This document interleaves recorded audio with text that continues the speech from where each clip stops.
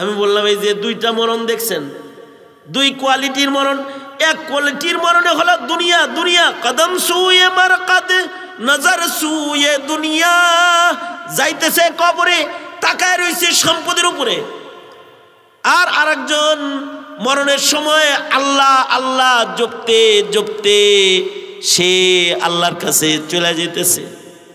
আল্লাহর রাসুল বলেন যাদের খাতেমা, যাদের মরণ ভালো হবে, তাদেরকে আল্লাহ তালা মরণটাকে জান্নাতের দরজা বানায় তাদের জান্নাতে ঢুকাইয়া দিবে।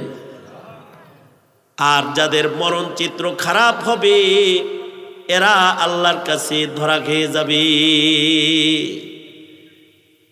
মরণ যে ভালো হবে অথবা মন্দ হবে, এটা হায়াতের কর্মকাণ্ডের উপরে নির্ভর করবে।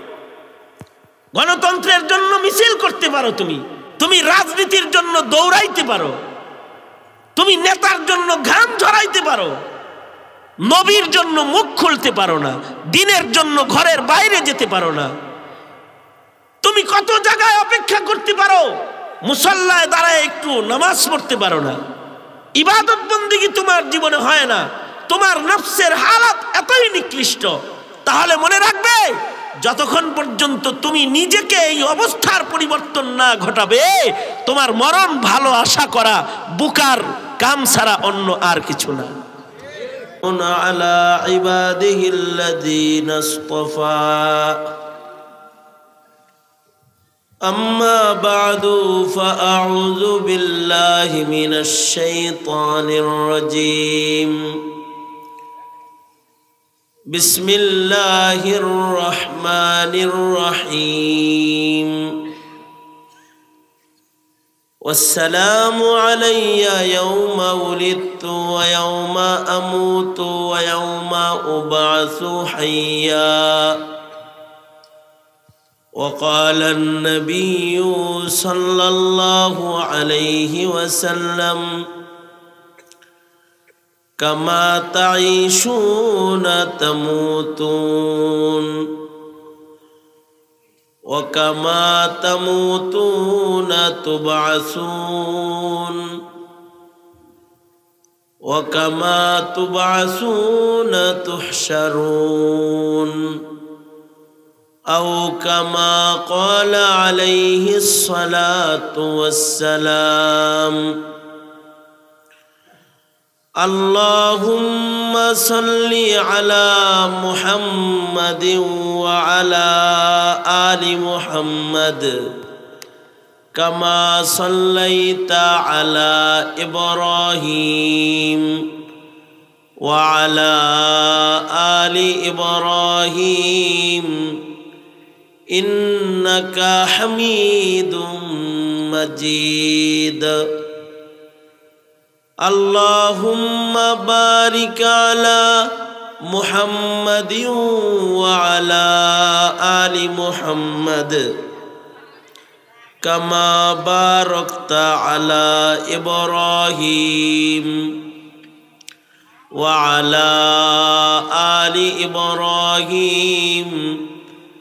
إنك حميد مجيد. بلغ العلا بكماله كشف الدجى بجماله حسنت جميع خصاله صلوا عليه وآله জামিয়া মোহাম্মদী আয়োজিত মহতি বার্ষিক সম্মেলনের ওয়াজ মাহফিলের মোহতারাম সাদার। উপস্থিত হাজরাত ওলামায় কেরাম সম্মুখপানে সমবেত দিন প্রিয়, ইসলাম প্রিয়, দিনদার, ইমানদার, মমিন, মুসলমান ভাইরা পর্দার আড়াল থেকে আলোচনায় সামিল মা বোনেরা। বিশ্বজগতের মালিক, বিশ্ব প্রতিপালকের দরবারে শকর যে মহান রব্বুল আলমিন মাদ্রাসার মাহফিলে আমাদেরকে সামিল হওয়ার তৌফিক দান করেছেন। ওলামাদের সোহবতে সময় কাটানোর মতো সুযোগ দান করেছেন। কালিমাত শকর পড়ি, শুক্রিয়া আদায় করি, জবান খুলে, ভক্তি ভরে, সমস্বরে আওয়াজ করে বলি, আলহামদুলিল্লাহ।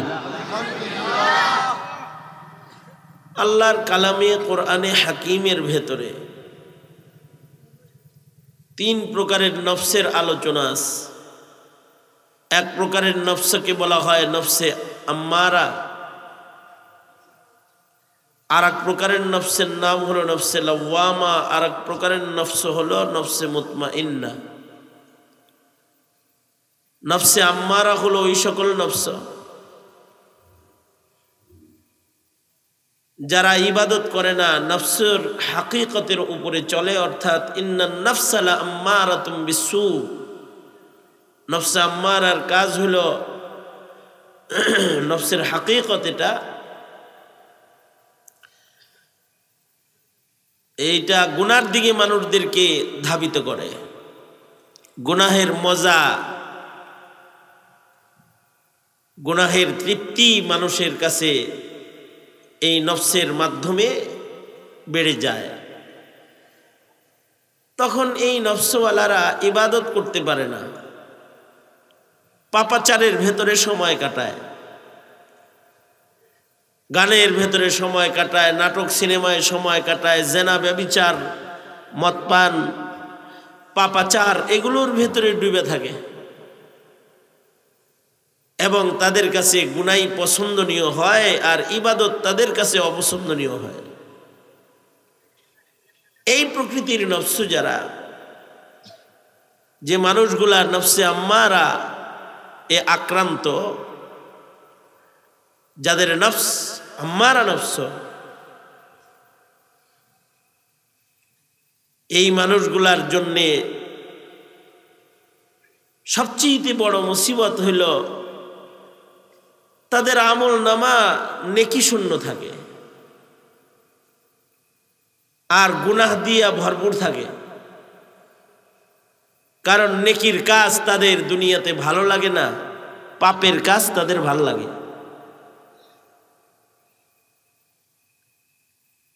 আর মরণের সময় তাদের সবচেয়ে ভয়ঙ্কর অবস্থা হলো যে অনেক সময় মরণের আগেই তারা গুনাহের আধিক্যতার কারণে ইমান হারায়া যায়, অথবা মরণের সময় তাদের ইমান নষ্ট হয়ে যায়। আর একটা নবস হলো নবসের লাওয়ামা। এই নবসটা হলো নেকির আকর্ষণওয়ালা নবস। যে নবসগুলোর ভেতরে ভালো গুণ আছে। ইবাদত যদি করতে না পারে, তখন তার নফস তাকে মালামত করে। কি করলি? আধা ঘণ্টা সময় বসলে কি হইতো? নিজের নিজের নফস তাকে মালামত করে বলে, নামাজটা জামাতে বললে কি হইতো? কেন একটু বসলি না? কেন জামাতে সামিল হলি না? কেন কোরআন পড়লি না? পড়ার দরকার ছিল। এ ধরনের চাহিদা যাদের নফসের ভেতরে জাগ্রত হয় এই নফসগুলো নফসে লওয়ামা নফসের লওয়ামার কোনো একটি সিফত যদি কারোর ভেতরে থাকে, তাতেও আল্লাহ তালা তাকে মৃত্যুর আগ দিয়া তবা নসিব করে দেয়। এবং এমন নফসগুলোর ইমানের সাথে মরণ হয়ে যায়। যেমন বুখারি শরীফের ভেতরে একশো খুনের আসামির তওবা কবুলের ঘটনা নফস তার কত খারাপ হইলে একশো খুন করতে পারে। কিন্তু তারপরও এই নফসের এক কোনায় একটা চাহিদা আছে, সেটা হলো, আহ, যদি আমি তবা করে মরতে পারতাম। আমার গুনাহগুলা যদি ক্ষমা হইত, এমন একটি চাহিদা নিয়ে সে দাঁড়ে দাঁড়ে ঘুরে। শেষ বেলায় একশো খুন করার পরে তওবার আশায় নিজের ঘর থেকে বের হয়ে গেছে। মাঝ রাস্তায় তার মৃত্যু হয়ে গেছে কিন্তু এই যে তার নফসের ভেতরে ভালো একটা গুণ যে সে গুণামাপ করাইতে চায়, এই গুণের কারণে আল্লাহ তালা তাকে ইমানের মরণ দান করেছেন এবং মরণের আগে তার তবা কবুল করেছেন। একশো খুনের গুণা মাফ করে আল্লাহ তালা তাকে জান্নাত দান করেছেন। এ কারণে যে নফসগুলো ওয়াজে বসে থাকে, আলেমের সামনে বসে থাকে, ভালো কাজে নিজের নিয়োজিত রাখে। নফসগুলা ভালো নফস, নিঃসন্দেহে। যদি আল্লাহ তালা এটা কবুল করে, তাহলে এর উসিলায়ও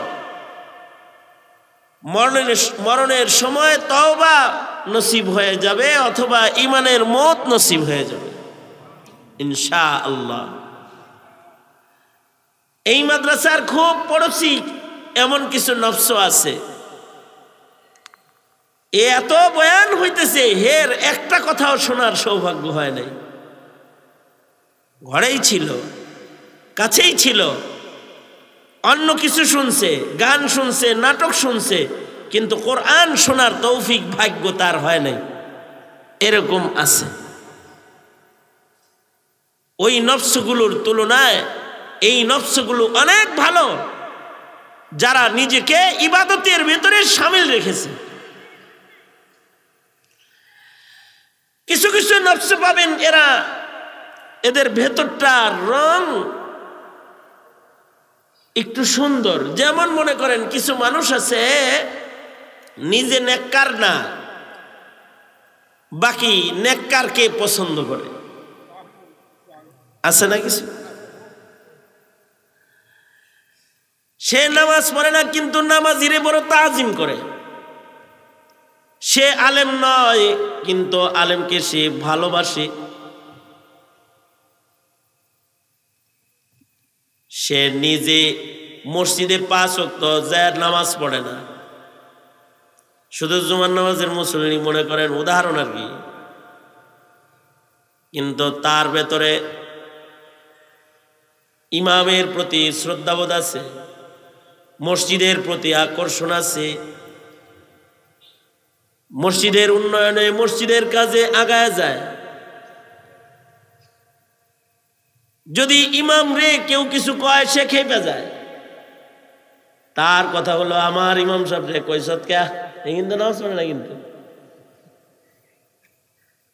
নফসটা কিছুটা ভালো, নফসটা আম্মারা নফস না।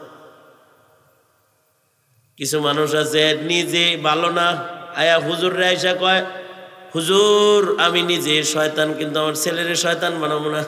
মানে কথার কথা আর কি, আমি আমার ভাষায় বলতেছি আর কি। আমি খারাপ, কিন্তু আমার সন্তানটারে ভালো বানাইতে আপনার কাছে দিয়ে গেলাম।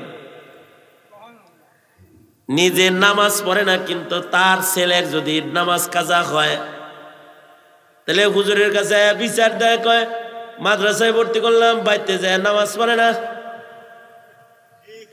কামটা কি ভালো করল হুজুর?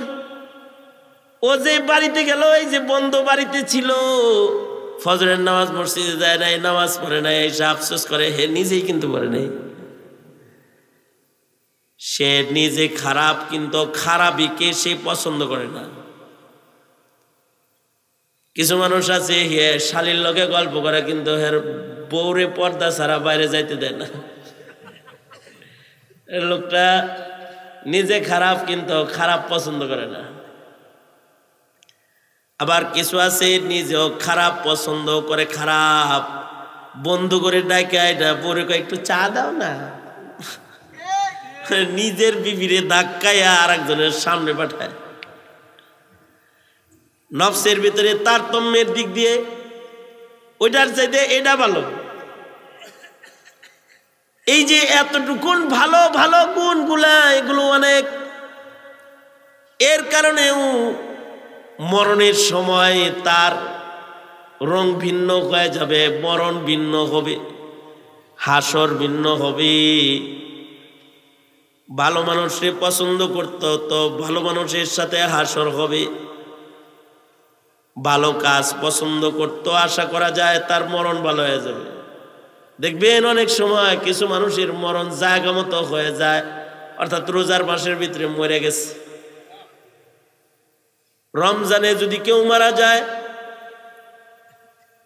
তাহলে জাহান্নামের আগুন মাপ কারণ রমজানে দোজকে তালা লেগে যায়,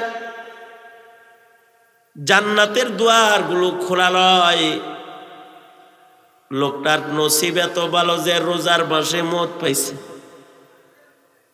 রমজানে মরণ পায়া যে একবার জান্নাতে গেছে, আল্লাহ তো আর জলেম না। রমজান গেলে গাই যে হেরে আবার জান্নাতে বাইর করে দোজকে ঢুকাইব এরকম খোদা খোদা না, আমাগর খোদা না। মালিক তো বান্দার উপরে রহমশীল, তারে মরণটা এমন টাইমে দিছে তার কোনো কাজের কারণে আল্লাহ তালা তাকে মাফ করে দিছে। কিছু কিছু মানুষ আছে, খুব বেশি ইবাদত করে না, কিন্তু খাতমে নবুয়াতের মিছিলে গেছে, হঠাৎ করে পুলিশের গুলিটা ও খায়, ও ডাইরেক্ট শহীদ হয়ে গেছে। নফসের কোনো ভালো গুণের কারণে শাহাদাতের মতর নসিব হয়ে গেছে। এ কারণে নফসকে খারাপ রাখতে নাই। নফস যদি খারাপ থাকে, তাহলে কপাল খারাপ হয়। নফস খারাপ তো হায়াত খারাপ হয়, হায়াতে কুকর্ম হয়। আর নফস ভালো তো হায়াতে সুকর্ম হয়। কারণ মানুষের ঘাটে তিনটা তিনটা অধ্যায় মানুষের জন্মের মাধ্যমে দুনিয়ার অধ্যায় শুরু হয়। মরণের মাধ্যমে কবরের অধ্যায় শুরু হয়। ইসরাফিলের বাসির মাধ্যমে হাসরের অধ্যায় শুরু হবে। মরণ তো আমাদের ভালো হয়েছে। যদি আমাদের জীবনে ভালো কাজ বেশি হয়েছে, তাহলে মরণ ভালো হবে, আশা করা যায়। কারণ আল্লাহ রসুল বলেন, কামা তামুতুন। তোমার জীবন যাপন যেমন হবে, তোমার মরণটা তেমন হবে। তোমার জীবনে ইবাদত যদি বেশি হয়, তাহলে তোমার মরণটা ভালো হবে। আর যদি জীবনে ইবাদত না হয়, তাহলে কিন্তু মরণ খারাপ হবে। গুণাগারের মরণ, ভয়ঙ্কর মরণ।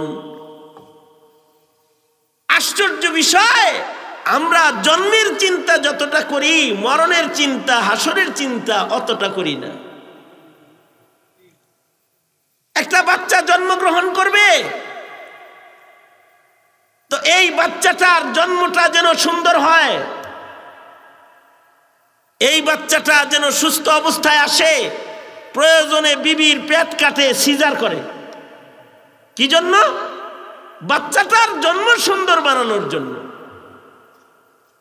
জন্মই তো আসল না, আসল তো মরণ, আসল তো হাসর। জন্মটা তো সিজার করে, অপারেশন করে, ভালো করে বানাইলো।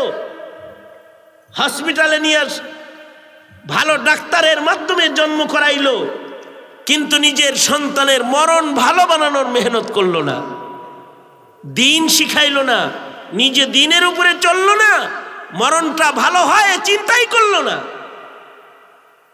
তাহলে আল্লাহর রসুল সাল্লাহ আলহাসাল্লাম এই প্রকৃতির মানুষকে বোকা মানুষ বলেছেন। আর ওই প্রকারের মানুষকে আল্লাহর রসুল চালাক বলেছেন।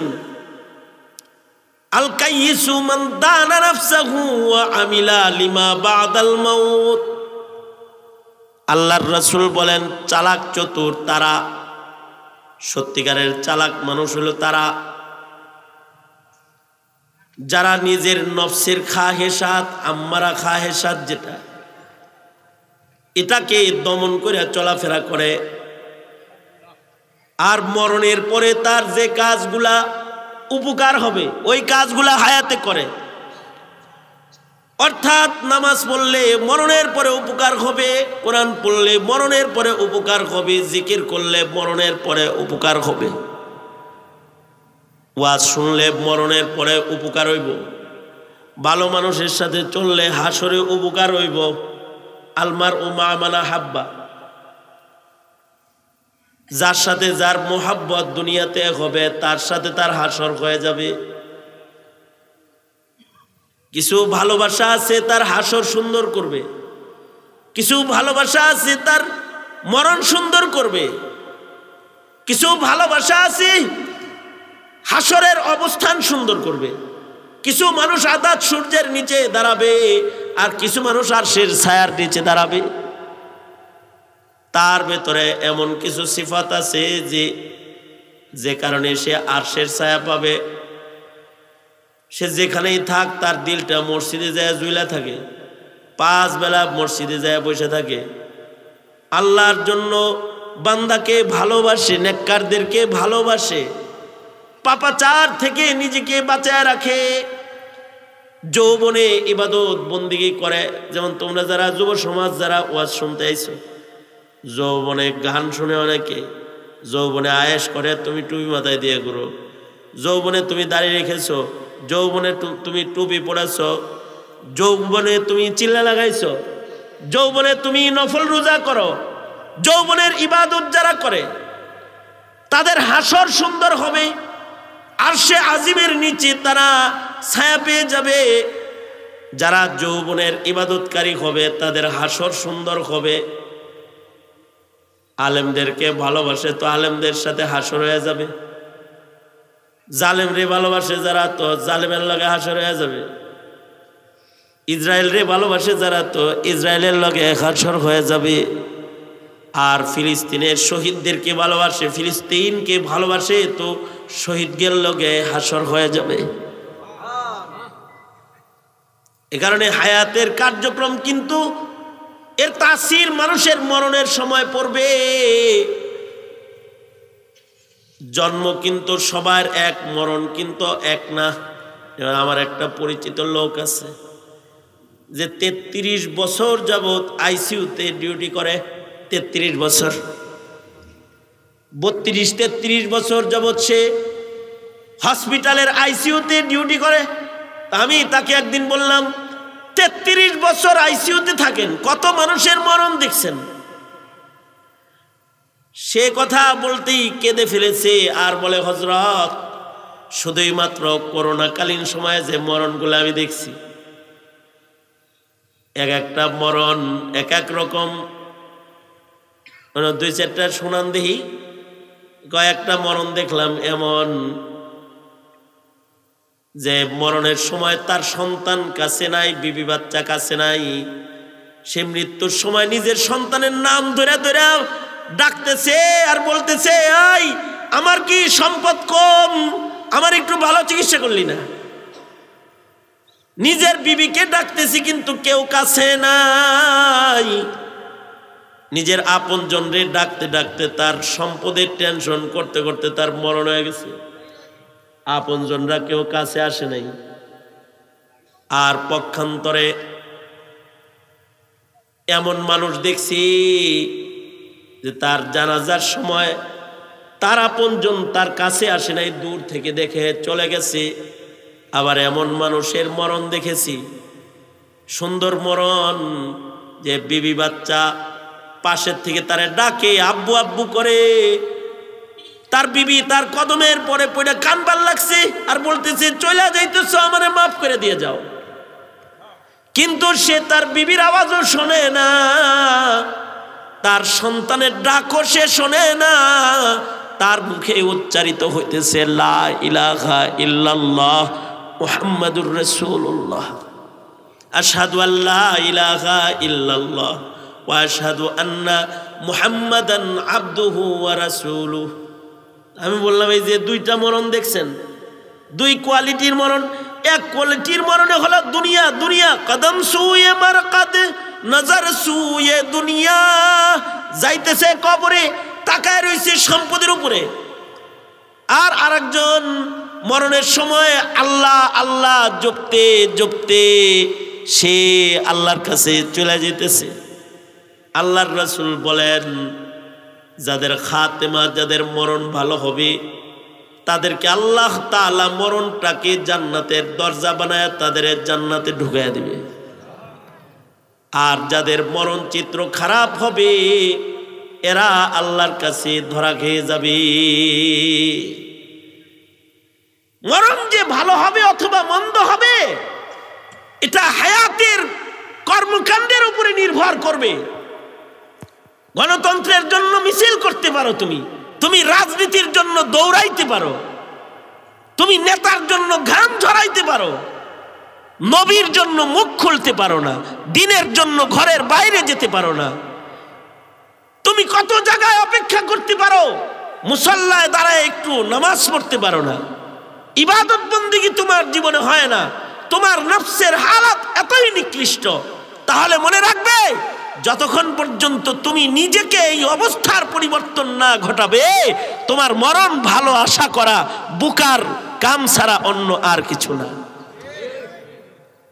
সঙ্গত কারণেই ঘাটি তো মরণের ঘাটি সামনে জন্ম তো আল্লাহ তালা আমাদেরকে ভালো দিয়ে দিছে যে মুসলমানের ঘরে আমরা জন্মাইছি। আমাদের বাপ মুসলমান, মা মুসলমান। মুসলিম দেশের নাগরিক আমরা। জন্মসূত্রে কালিমা পাইছি। এটা কত বড় নিয়ামত? কাফেরের ঘরে কাফেরের দেশে যার জন্ম হয়েছে সে বুঝে কি নিয়ামত সে হারাইছে।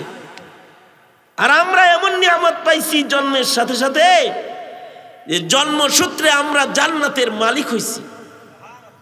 জন্ম তো আল্লাহ দয়া কইরা জান্নাতের মালিক বানায় দিল। কিন্তু তুমি আমি জান্নাতে যাওয়ার জন্য কি করলাম? তুমি কি পড়েছো নামাজ? তুমি কি শিখেছো আল্লাহর কোরআনের তেলাওয়াত? তুমি কি করেছ সকাল, সন্ধ্যা একটু জিক্র, আজকার? তুমি কি তোমার চক্ষুকে নিয়ন্ত্রণ করেছ? ব্যাপার দিঘি, আর আজাদ জিন্দিগির থেকে তুমি কি নিজেকে নিজেকে ফিরায়েছ? যদি না ফিরায় থাকো আর যদি সুকর্ম করে না থাকো, তাহলে আল্লাহর রসুল বলছেন, কামা তাই শুন তামতুন, যেমন জীবন যাপন করবা, মরণ তোমার তেমন হবে। আর যদি তোমার জীবন যাপন ভালো হয়, তাহলে খোশ খবর তোমার জন্য, তোমার আশা করা যায় মরণ ভালো হবে। আশা করা যায় মৃত্যু ভালো হবে। মরণের সময় কালিমা নসিব হবে। মরণের সময় কালিমা নসিব হওয়া এটা বিরাট ব্যাপার। আল্লাহর রসুল বলেন, যার মৃত্যুর সময় মুখে আসবে ইলাহা ইল্লাল্লাহ। যদি কারোর মুখে আইয়া যায়, সে মৃত্যুর সাথে সাথে আল্লাহর জান্নাতে ঢুকবে। আরও সহজ করছে আল্লাহর রসুল বলে মাম্মাতা ওয়াহুয়া ইয়ালামু লা ইলাহা ইল্লাল্লাহ। কিছু মানুষ আছে, বোবা মানুষ, এদের তো মুখ নাই, কালেমা বাইরে হইব না। কিন্তু তার হৃদয়ের ভেতরে আল্লাহ আছে। যখন মরতেছে, তখন তার হৃদয় আছে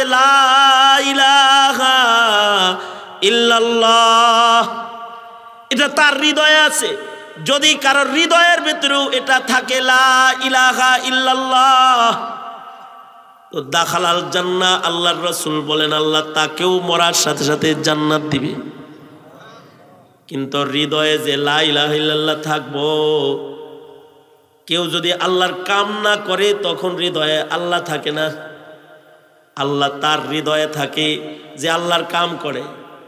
আল্লাহর নাম লয়, আল্লাহর গোলামি করে, তো হৃদয়ে আল্লাহ থাকে।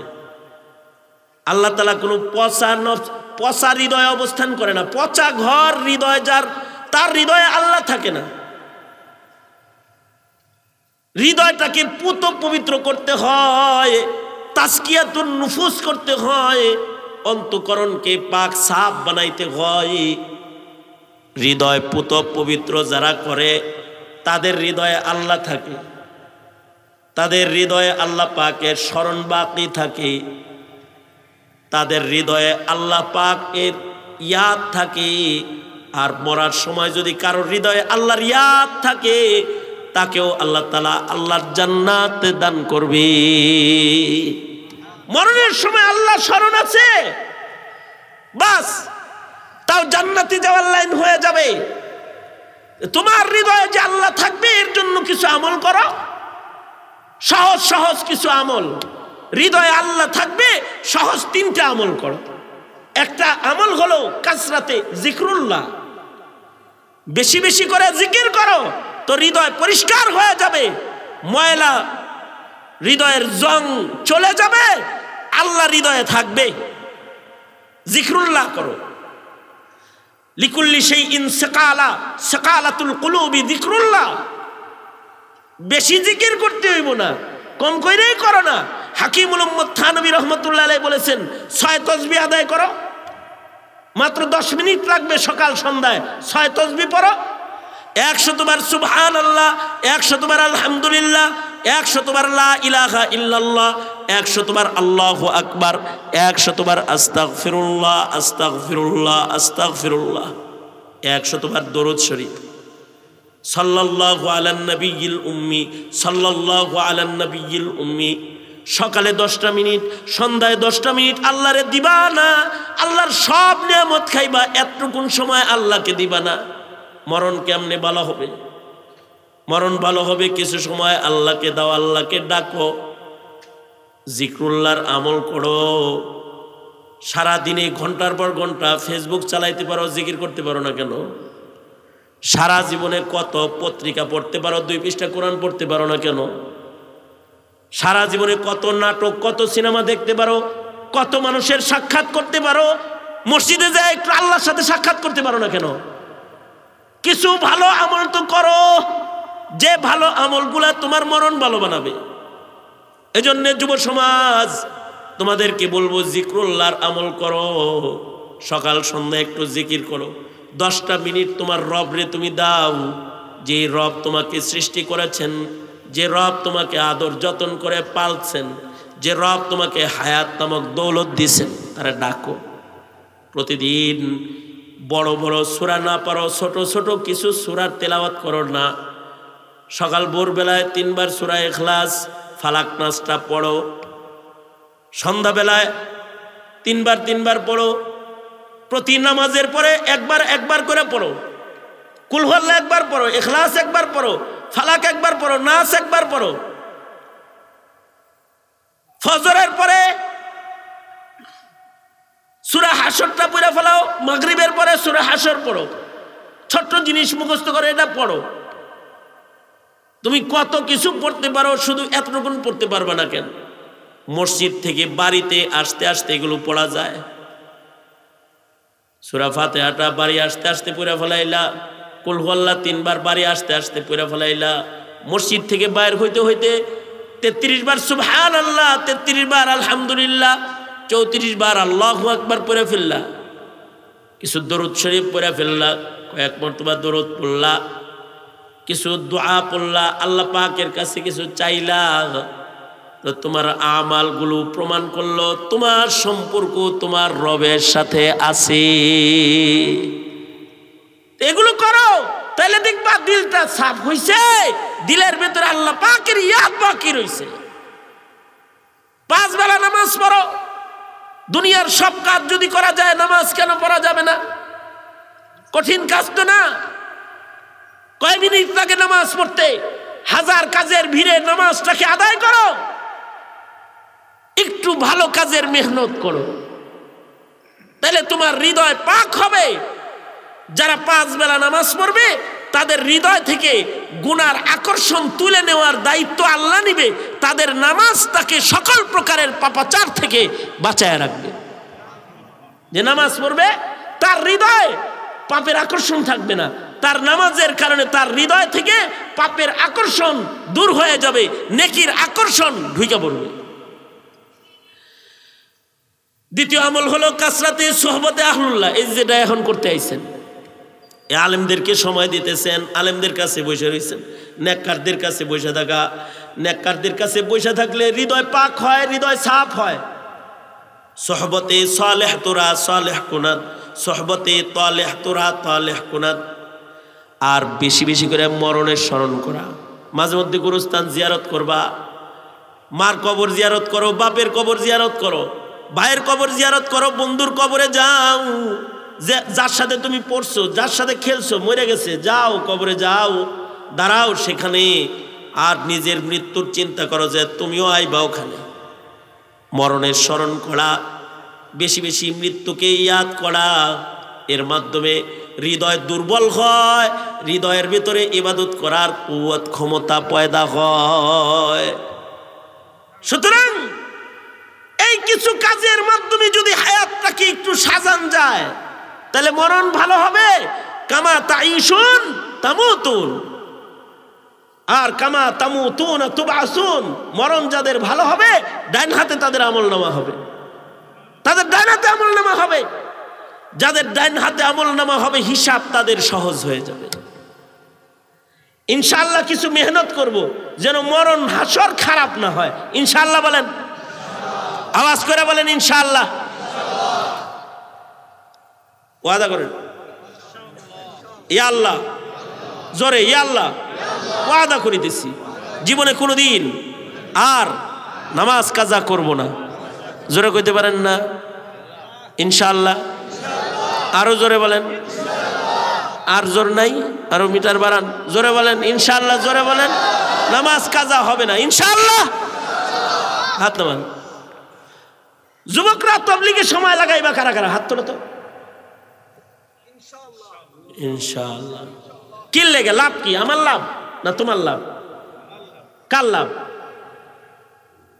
আমাদের দেশে এমন বাঙালি আছে কিনা যে তিরিশ বছর, চল্লিশ বছর যাবৎ সে নামাজ পড়ে এখনও পর্যন্ত সুরা কেরাত পারে না। আছে না নাই?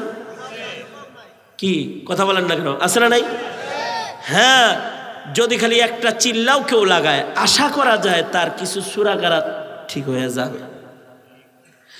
তুমি তোমার জিন্দগির থেকে মাত্র চল্লিশটা দিন একটু ইবাদত শিখার জন্য দিবা না? সারা জিন্দগির কষ্ট থেকে তুমি মুক্তি পাওয়া যাইবা। উপরের দিকে চাই ফ্যান গুনুস বেটা। সুরা ফাতে হাটা পড়তে পারো না, লজ্জা করে না? দোয়া কালাম পড়তে পারো না, লজ্জা করে না? আমার পাশে এক যুবক নামাজ পড়তেছে। তা আমি এরকম করছি ও দেখি এরকম করছে। কতক্ষণ পরে দেখি আবার এরকম করছে? তুমি যে এরম এরম করলা, কি? দুই, তিনবার করলা যে? না, একবার আপনি করলেন, আপনার লগে করলাম, আর একবার উনি করল, ওনার লগে করলাম আর কেন, তুমি কিছু পরটরও নাই? আমি হজুর সাথে পারি না হজুর। নতুন নতুন মসজিদে ঢোকা শুরু হয়েছে। দেখো, তোমার জিন্দিগির বাইশ, তেইশ বছর সময় চলে গেছে, এখনও তুমি তাসাহুদ শিখো নাই। দোয়ায় মাসুরা পারো না, দোয়ায় খুনুত পারো না। মার নামে, বাপের নামে দোয়া করবা, রব্বির হামহুমা কামা রব্বায়ানি সগীরা। এটা তোমার বাইরে না। ভাত খাও কেন তুমি? খানা দানা বন্ধ করে নিজেরে সাজা দাও। আর আমাদের শিক্ষা ব্যবস্থার ধস নেমেছে। আশা, ব্রাক আর কেজি নামক স্কুল আসার পরে সমাজ এত দুষ্ট হয়ে গেছে যে এখনকার সন্তানরা সকালের মক্তবেও যায় না, কালেমাটাও পড়া জানে না। দোয়া কালামটাও জানে না। শিক্ষা সিলেবাসের যে অধপতন ঘটাচ্ছে কিছুদিন পরে মুসলমান খুঁজে পাওয়া যাবে না কালেমা পড়ার। এই তো, আসতেছে সামনে। যেভাবে বিবর্তনবাদ আর কুশিক্ষা আর ফ্রি সেক্স যে সকল বিষয় বইয়ের ভিতরে পাঠ্যসূচিতে আসতেছে। এতে করে আমাদের সন্তানরা কয়দিন পরে দিন কাকে বলে ধর্মকর্ম কাকে বলে, কিচ্ছু জানবে না, কিছুই জানবে না কয়দিন পরে। কারণ ধর্ম শিক্ষা এখন ঐচ্ছিক শিক্ষায় রূপান্তরিত করা হয়েছে। তার মানে ধর্মে ফেল হইলেও আলহামদুলিল্লাহ পাশ হইল আলহামদুলিল্লাহ। অঙ্কে ফেল হইলে ফেল ইংরেজিতে ফেল হইলে ফেল ধর্মে ফেল হইলে পাস তাহলে এই জাতির কপালে কি জড়তে পারে? এরপরেও যখন আমরা চিল্লাই, তখন আমাদেরকে জেলের তালাবদ্ধ করা হয়, তোমরা তাকা তাকা দেখো, কথা বলো না তোমরা। আমরা বলি, আজও মামুনুল হক জেলখানায়। কেন? কারণ ভোট কালেকশন করে জেলখানায়। জাতির কাছে সত্য মেসেজ পৌঁছায় জেলখানায়। হক হক্কানিয়তের মেসেজ পৌঁছায় জেলখানায়।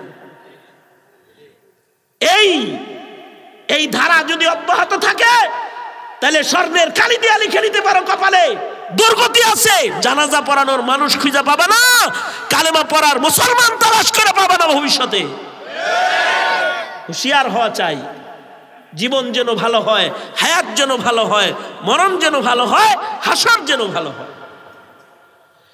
সংক্ষিপ্ত হাজিরা এই কয়টা কথা বললাম। যুব সমাজ, এই দেশের ভবিষ্যতে বারবার রক্ত দেওয়া লেগেছে, সামনে রক্ত আরও বেশি দেওয়া লাগবে। কাদিয়ানির ইয়াতের মোকাবেলা করতে আর নবীর খাতমে নবুয়াত রক্ষা করতে, নাস্তিক্যবাদের মোকাবেলা করতে আর নবীর ইজ্জত রক্ষা করতে বহু রক্তের জরুরত হবে। তোমাদের প্রস্তুতি রাখতে হবে যে কমাস কম দিনের জন্য ইমানের জন্য যদি এই দেশে তোমার জীবনে কিছু করার সুযোগ এসে যায় তাহলে আবার তুমি ময়দানে বেরিয়ে যাবে। প্রয়োজনে আবার মুক্তিযুদ্ধ হবে। ইসলামকে মুক্ত করার যুদ্ধ, মুসলমানিত্বকে মুক্ত করার যুদ্ধ, সে যুদ্ধের যুদ্ধ হবা তুমি। রাজি আছো তো ইনশাল্লাহ আল্লাহ তালা সবাইকে কবুল করুন এই ইমানি স্পিড, এই ইমানি মানসিকতা, এই ইমানি স্পিড, আর এই ইমানি মানসিকতাকে লালন পালন করতে হবে।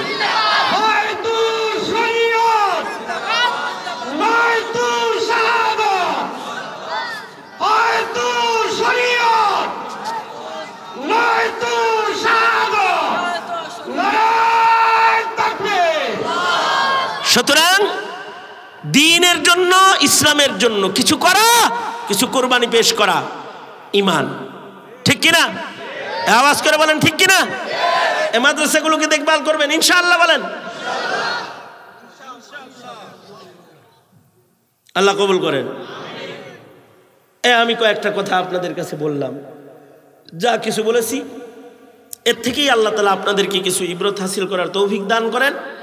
সময় স্বল্পতার কারণে আমার বিদায় নিতেই হচ্ছে এই অল্প কিছু বলেই আপনাদের কাছ থেকে বিদায় নিচ্ছি যা কিছু বলেছি এর থেকে আল্লাহ তালা কিছু সঠিক সিদ্ধান্ত গ্রহণ করার তৌফিক দান করুন আমিন ও আখর দাওয়ানা আলহামদুলিল্লাহ রবিল আলমিন আসসালামু আলাইকুম রহমতুল্লাহি ওবরাকাত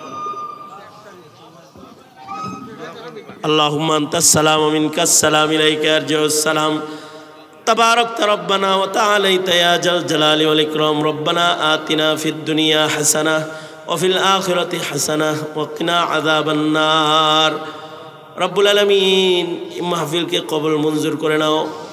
যুব সমাজ ওলামায় কেরাম যারা এখানে হাজির হয়েছে, সকলকে কবল করে নাও।